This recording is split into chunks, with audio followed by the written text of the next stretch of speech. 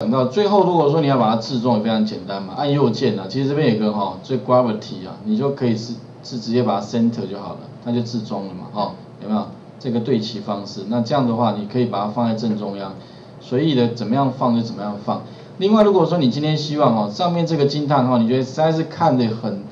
不喜欢的话，那我刚刚讲过嘛，你就可以怎么样呢？把那个 Hello World 里面，假如这个确定这两个字，对不对？你要让它这个惊叹号消失也非常简单，你就找到 values，这个 values 就是相关的一些字串，比如字串资源档，哦，这边有个 strings，就是相关的资源字串资源档，你就可以怎么样呢？你就可以在这边 add 一个，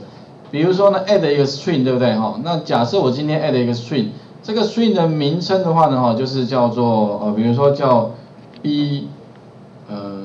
叫什么 b 零一好了哈。就是 button 上面的文字好了，然后这个文字名称就是叫确定，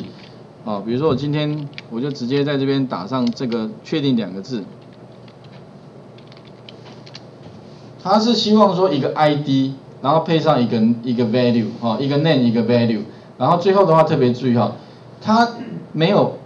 一般你想说以前 Windows，哎，旁边应该有个确定对，它没有，那怎么样确定？特别重要，慢慢你要习惯，它的确定是再点它一下。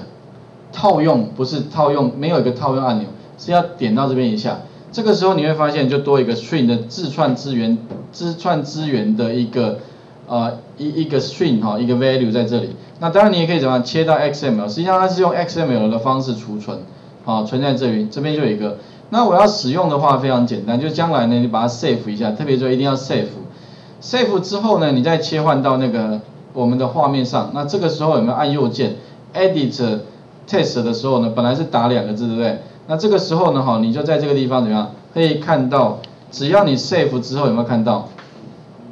？B 零一就出来了。那这个时候怎么样呢？用选的就好了，点它一下，它会出现什么？at strings B 零一，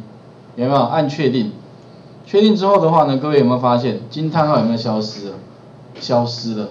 对不对？那如果说你今天呢要多国语系的话，自己再查一下，反正多国语系里面有，你就把 values 这个资料夹复制贴上去之后，看你要哪一个哪一国语系后面再加上 dash 什么国家的简称的话，然后呢再把那个翻译就是 string 里面的那个 XML 翻译一下，这样就有多国语系，在任何国家看到的